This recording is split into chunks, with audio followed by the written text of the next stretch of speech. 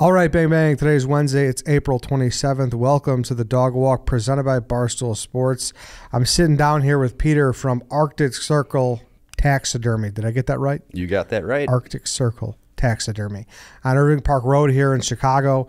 Um, we're going to talk about stuffing some fucking animals, huh? We're gonna get into it. Thanks for having me here, Eddie. Big fan. Yeah, no, I'm glad you came in. I uh, you you told me about this drunkenly at a bar one day, and I was like, "Fuck yeah!" I knew uh, I knew I wanted to do it. Then you know, through some backlog communication, we made it happen. So I'm happy we Supporting did. local business. We were Yes. both out there. Yep. Exactly. So I think a lot of people when you when you tell people you're a taxidermist, are people like, "Whoa."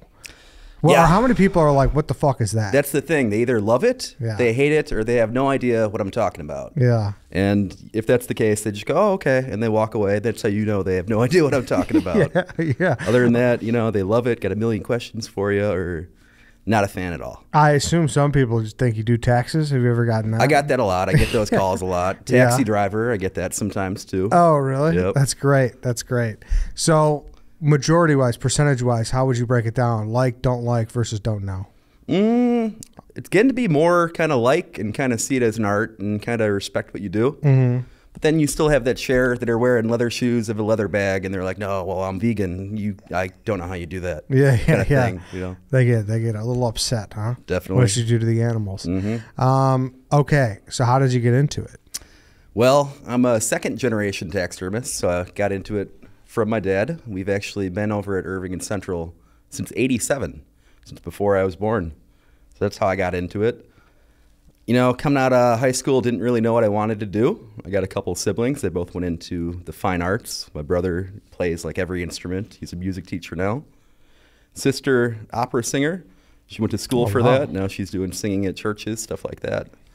And I had odd and end jobs, lifeguard, made trophies, stuff like that. And I just started apprenticing for my for my dad, and I really fell in love with it there. You know, setting your own hours every day something different. Mm-hmm. It's a really unique unique job, and there's not a lot of people Okay, so you really love getting it. into it. You love what you do. You would say. I'd say, yeah, I'd say I love what I do. No, nice. That's good. That's always a great thing. Yeah. Um, so how'd your dad get into it?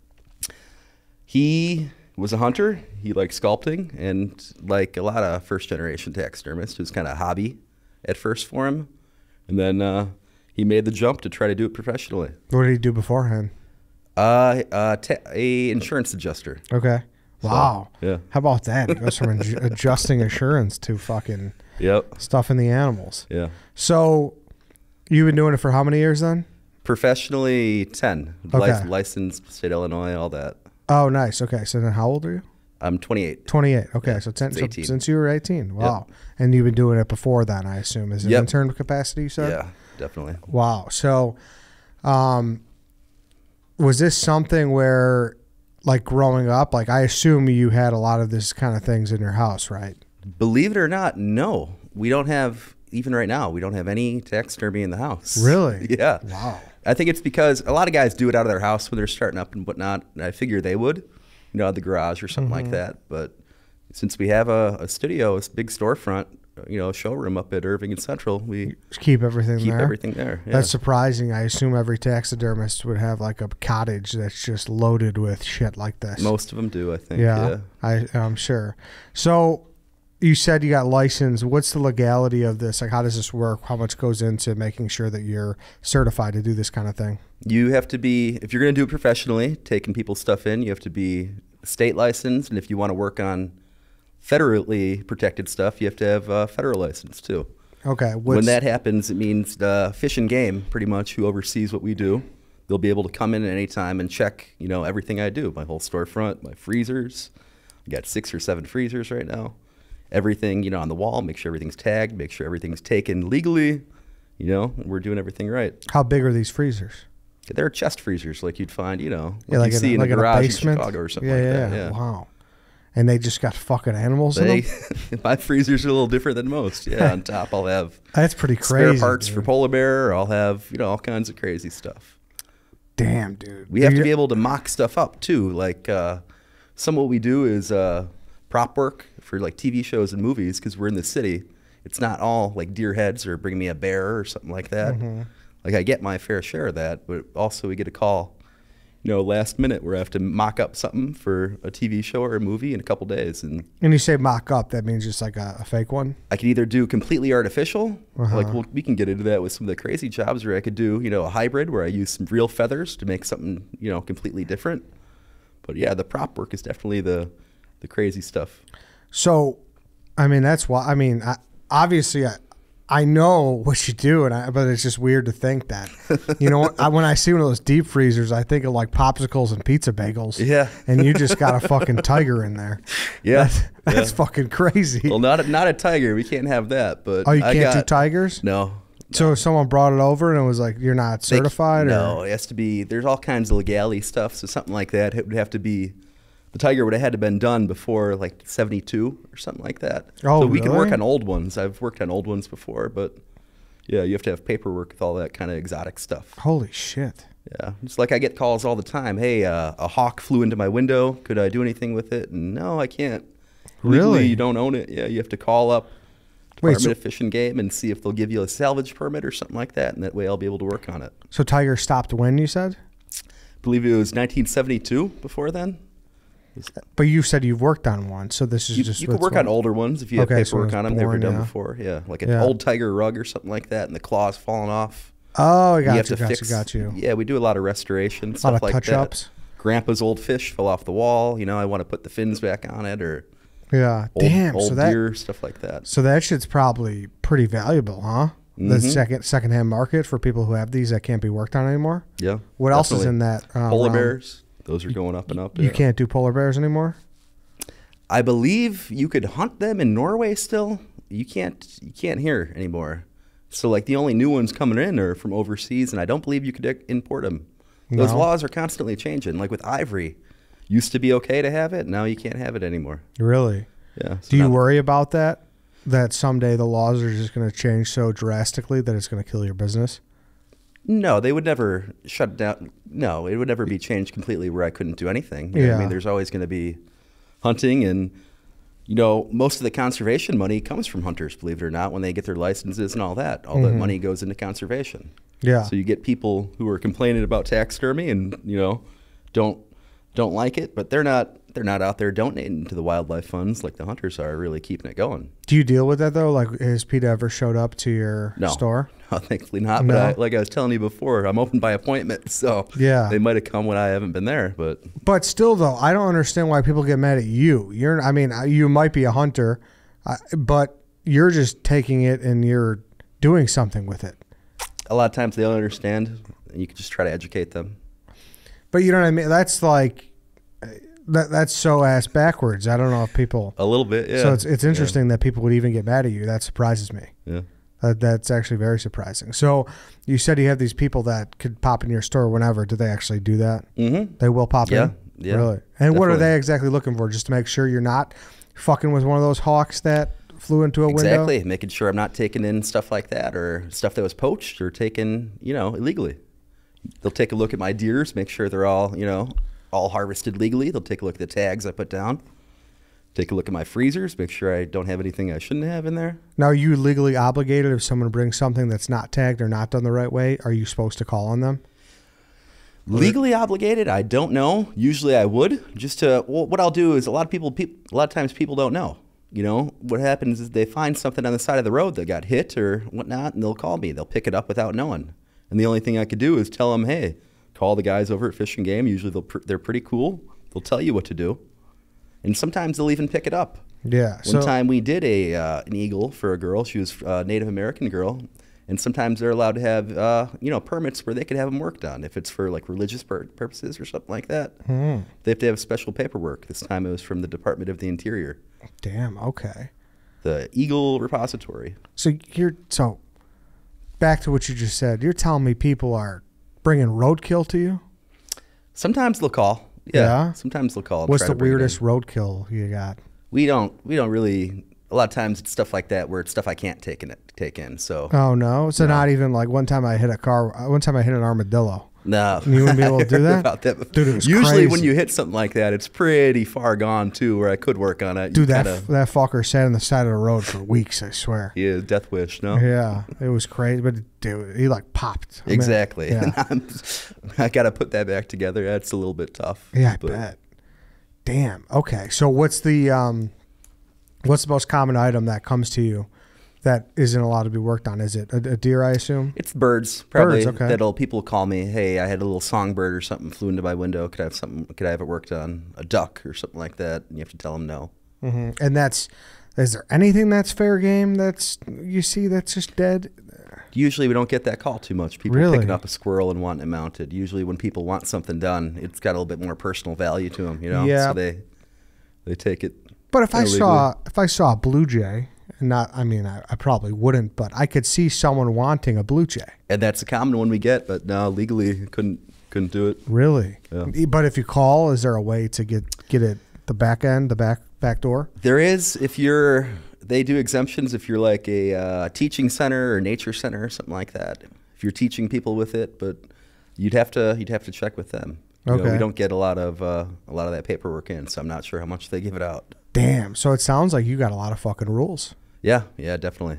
And how much of the battle is that for you to make sure that you got to cover your ass versus like the actual crafting of this these animals? You just got to be mindful. Yeah. You know, you got to be mindful. You don't ignore it at all. You know, you got to keep yourself up to date on the changing the rules and laws. But that's part of the occupation, definitely. hmm How many are there in Chicago? Do you know? Taxidermists? Yeah. Uh, I think a handful. Yeah. Not too many at all, yeah. Not too many. And you said you're book solid, huh? Oh, you super busy. Yeah. Really? Really backed up. So what's the most common um, thing brought to you? Being in the city, we'll do a mix. Like there's hunting seasons for sure. We get deer, we get birds, stuff like that. A lot of restoration. We do pets, believe it or not. You know, reptiles, birds, fish, dogs, cats, even uh, prop work for TV shows and movies. Uh, all kinds of stuff. Skull cleaning. Uh, have you ever heard of uh, dermestid beetles? I have not. I got those over The there. fuck is they're, that? they're beetles that do the cleaning for you. They eat everything but the bone. Oh, really? Yeah, little little tiny beetles. I keep them in tanks. Really? Yeah. Damn. And people want these fucking. Well, people will go hunting for a deer or something like that, and they'll want a euro mount. I'm sure you've seen like a skull on a wall before. Yeah. Well, the best way to clean the skull would be nature's way, a beetle. Oh, he goes in there, eats everything organic for you. Well, that's cool. You could boil it, but a lot of times you lose a lot of that detail. A lot of Um, detail in the nose, in the nostrils, and all that. Really?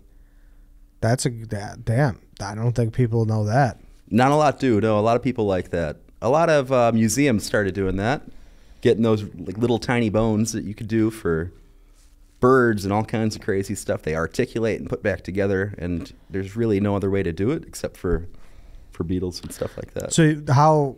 So you'll just throw this beetle in the deep freezer with the. Mm-mm. No, you have to have them climate controlled and all that. So I'll have kind of like tanks, like fish tanks, big tanks. And what you'll do is you'll remove, you'll skin off as much skin as you can, and put uh, put whatever you want eaten in there. So the skull with all the meat on it, you put it in the tank there, and they'll do do all the work for you. Damn. And how many would it, just like a, say an average size buck? How many will? There's thousands of beetles in there. Really? Tens of thousands. Yeah. And do you like? Are you watching this? Like, are you at the glass tapping? No, no, No? It'll take a couple days. It'll take two, depending how many you got in there. Two, three days. You keep them, keep them in like a dark room. They don't like light too much. Is it like fascinating or is it kind of like weird? It's fascinating. They have time lapses of them on YouTube. If Yeah, you're I was, interested. that's that was my next question. Go on if you were YouTube, type in Dermestid beetle time lapse, and they'll take something crazy like a snake, and they'll show you a 24-hour time lapse from, you know, how the bones get cleaned off. Holy shit! And so the reasoning for this is, I mean, I'm sure you love them. Like Employee not- of the month, yeah. Yeah, right. Yeah, fucking those guys. Yeah. How much is it? How much are they? What are they? They're not a lot. You can find them on. Uh, I think I got mine off eBay or something like that. People keep them. The only thing is you have to have a spot for them, and you have to make sure they're not getting out. And you I mean, if they get out, they're eating your ass, right? they're eating everything. No, I'm a little too fast for them. Like Re- it's, you know, Oh, but okay. any- Yeah, they'll eat wood. They'll eat anything organic. Oh, really? Everything, yeah. They'll just start chomping away. Yeah. Are these the things that were eating the American eagle back in the day? Or that termites maybe. No, I don't think it was. Yeah, I think it was termites. They usually hang out in tropical climates, wait for stuff to die, and then get to Mm-hmm. it. They're not very fast at all. Yeah, I meant the American Eagle, the roller coaster, by the way, from Six oh. Flags. Sorry, I should have. Oh, when you say clarified. that to a taxidermist, I'm picturing a oh, different Oh American yeah, no, Eagle. remember yeah. that story though? It- no, I don't. here. Oh, the American Eagle. The I remember the roller coaster. Yeah. Old wooden roller coaster at Six Flags. I think like termites were getting after. At they had to point. be termites. Yeah, the you think so? Yeah. We deal with termites a lot. No. No? No. More more dermestid beetles than termites in my business. Damn, these fucking beetles. This is that's that's fascinating. Yeah, that's a fun one. So how much time will that save you? These beetles? A lot of time. Yeah. A lot of time. The it's not so much the time they save me though; it's the detail work they do. So it's you know, just it's a better craft. it's better quality than Yeah. anything I could do. Yeah. Damn, that's awesome. Yeah. That's fucking sick. I'll be honest. I did not know that. If they were a little smarter, they'd open up their own shop and put me out of business. You're Those right. Things, I'm telling you. those fucking beetles. Yeah. And we just where do you get them from? The I got my batch off eBay. I ended up trading a girl something for him. Oh, you did trade? I did a little trade. Yeah, she was looking for a skull. I think I gave her a whitetail skull or something like that. I had in stock. Do you trade often? As much as I can, you know. Yeah. I, yeah, I like that. I love that shit. Bartering shit. That's yeah, I got a couple Bears tickets last year for doing a guy's skull. Oh, really? Yeah. Uh, fucking, that's that's the lost art in America. It I'll really is the barter. Yeah, The no, I got- barter's great. And a lot of the, you know, a lot of my clientele comes in, you know, and working class. They love to do it too. So Yeah, I love that. That's like, um, what was that show? They would trade like a pen and they trade it up to like Oh, a, yeah, an get a ATV. car or a TV Yeah. or something like that, That, yeah. that was that that shit's great. We need more of that. So I appreciate that. So if I came in there and I was like, "You'll make deals," yeah, I'll make deals. Yeah, you bring me some merch, definitely. I love Maybe that. a beef kit or something. Yeah, for sure. we'll get you a beef kit. TastefulChicago.com. All right, hey, let's take a break from Peter right now. Let's talk about Roman because uh, if you're looking for a way to last longer in bed, there's no better way than Roman, everybody. You guys know the drill by now. Um, if you're doing these foolproof methods, if you're thinking about, oh, I need to go to the taxidermy, get my uh, my deer, you know, filled or you know matted and framed, and you need this and that, stop doing that because Roman is here, and it's a clinically proven way to last longer in bed. It's effective, it's easy to use, and it's fast acting, and it doesn't require a prescription. Roman could ship these swipes to you in discreet, unmarked packaging, and each swipe packet is small enough to hide in your wallet for whenever you need it. They're super easy to use. Just take the swipes out of the packet, swipe it on, let it dry. You're good to go. That's it.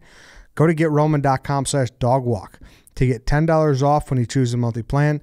That's getroman.com slash dogwalk. One more time, getroman.com slash dogwalk. If you're having sex and you're not using Roman, you are doing yourself and your partner a disservice. You really are. I mean, this little swipe right here is going to make you last longer and it's going to make everybody happy. So go use it, okay? Go do it. GetRoman.com slash dogwalk. All right, let's get back into it. So go back to back to pets. Yeah. That a little weird, man? To each his own. Uh, personally, I wouldn't do it with my pet. You know, a lot of taxidermists don't do it at all because it's a Oh, lot they're not. harder than doing something like a deer or something like that. You know, picture. You know, I know you're not a dog guy. Picture you have a cat. you live with it for 10, 15 years, and then you bring it in. listens. trying to imagine me trying to mock up that look on the cat that you've lived with for 15 years compared to a deer you got. Oh my god, day. people are so it's so personal. I would Yeah, fucking exactly. Oh That's my why god. most taxidermists don't do it. When I do, I try to push them towards a sleeping position, something natural, and they'd be happy with. You know, I don't know if you've ever seen Scrubs before, but they had that dog in the TV show that was standing, looking. You'd always move it around and scare each other. And it- oh, so yeah, but I, I've never seen Scrubs, no, but I know. uh What was it? Something about Mary? I think they had one of those. There was a dog in a cast or something like that. I've done them standing. I've done them looking. You know, I've done them every position you could think of, but I prefer to kind of steer them towards that sleeping position. Seems like they're generally more happy when you get something like that done. so dogs and cats are the main ones, obviously. Anything For else? pets, birds. Birds Oh. are really popular. Parrots, you know, little little colorful birds people have. Reptiles. Uh, See, I feel like those aren't that bad because those you see. Tax, you know, is taxidermed a word? uh no, no, I don't No? think so. Mounted, people say. you know. Mounted, all right. Yeah. Those you see mounted, you know. Mhm. But um, dogs and cats you just don't see. That's too much. It's getting to be more popular. Is getting it? more and more of them in. Yeah. I could see that. I mean, would, would you? T- I mean, how like, like are they just bringing them in in like a jewel bag? Sometimes I'll have to go pick them up from the vet if they get put down or something like that. Okay, and that uh, seems good. like anything with taxidermy, you have to.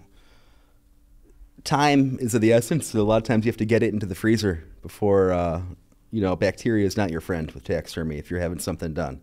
So if you go out hunting and you get a deer or something like that, the first thing you do, you field dress it. You know, you want to save the meat. You want to make sure that doesn't spoil. You want to save the hide. After they take the hide off it, they'll usually pop it in the freezer or they'll call me up and they'll bring it on in. What's like the like? What's the amount of time you could have it? If I if you shoot a deer, Depends on the weather. If it's Yeah. cool out, a day or two, you might be able to leave it out. If it's not cool, if it's a hot day, You you, don't want to leave it out more than a day. damn man, that's. Uh, do you, people ever just come in bringing shit that stinks horribly?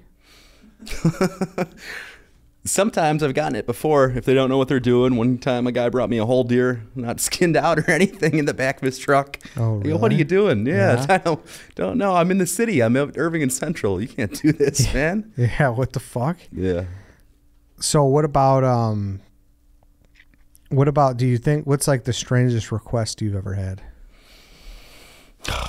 that many? huh? Yeah, everything's. eh, I mean, everything's a little strange. We do when you Yeah. look at it like that. We done probably the prop work because it ends up being strange on purpose, kind of thing. Mm-hmm.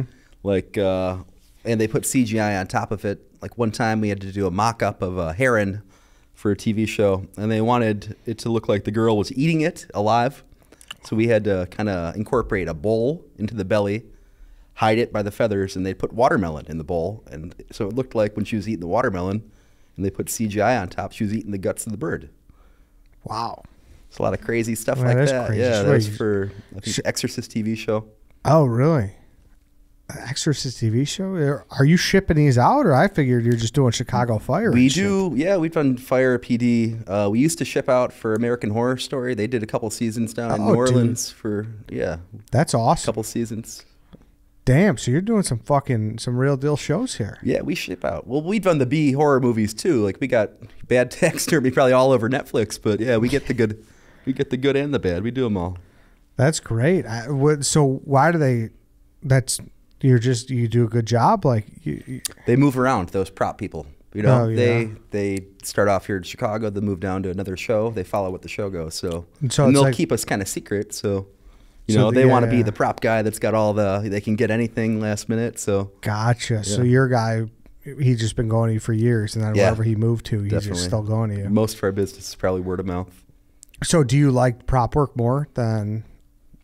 It's fun. I like prop work a lot. I love the creativity of that. I like doing restorations. You know, bringing stuff back. That's fun too. They're all kind of rewarding in their own little way. The pets, you know, seeing people when they get them back, that's kind of rewarding too. Mm-hmm. Yeah. But the prop work, I, is that the uh, most lucrative, maybe, or no? Yeah, when they call, you know, two days ahead of time, hey, we don't care what it costs. It's for a big production company. Get it done.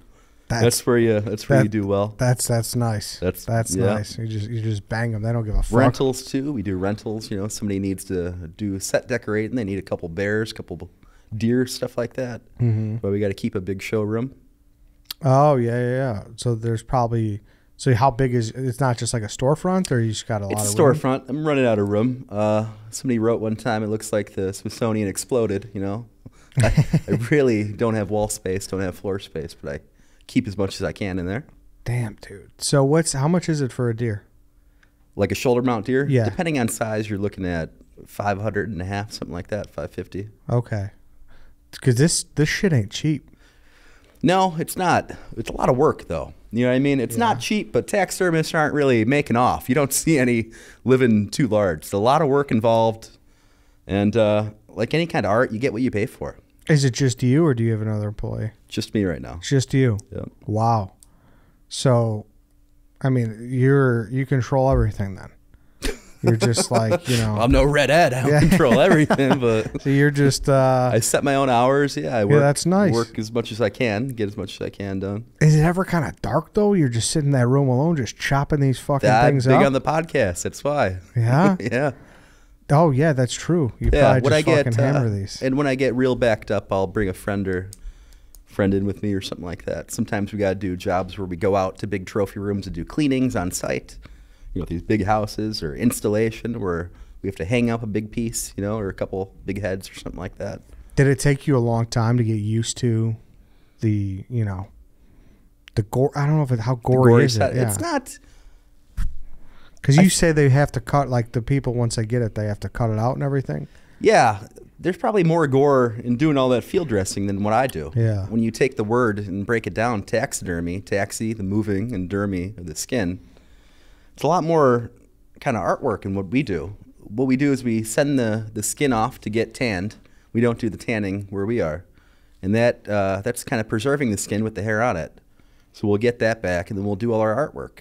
Like the form underneath the uh, the actual piece of taxidermy is a kind of like a polyurethane foam. You order those up, and uh, you do your alterations by cutting them up and you know measuring them out, and you do the musculature on top with clay.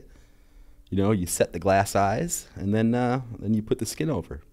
But essentially, though, like you said, these these animals are all cut out when they come to you. Generally, yeah, there's not.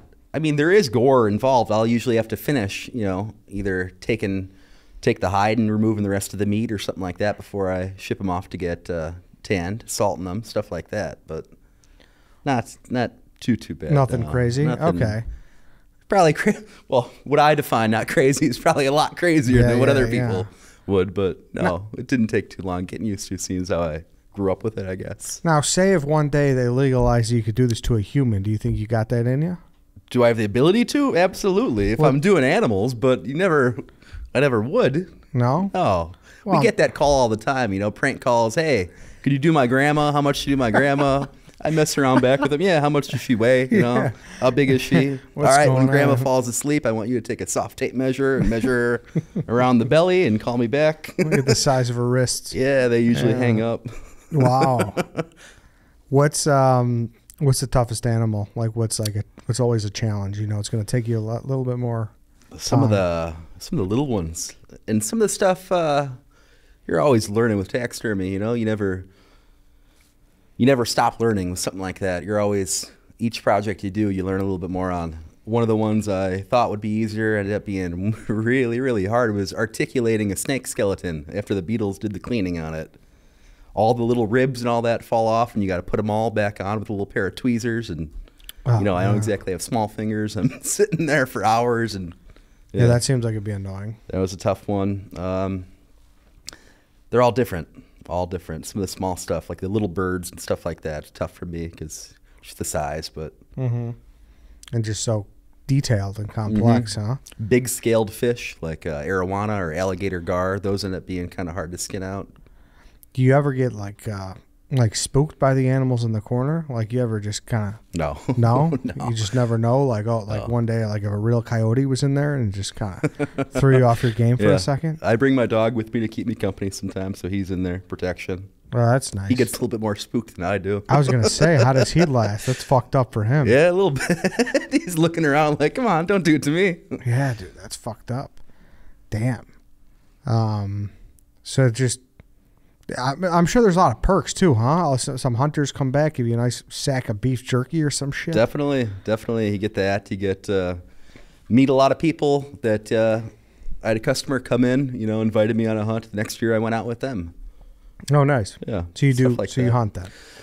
I've been hunting before, not as much as I'd probably like to, a handful of times, but uh, yeah, being a second generation taxidermist, hunting isn't really what got me into taxidermy, but I do enjoy it. I've gone out before. Yeah, Yeah, but it's good to see how it starts, right? Definitely, yeah. The cycle of everything. definitely. That's crazy, man.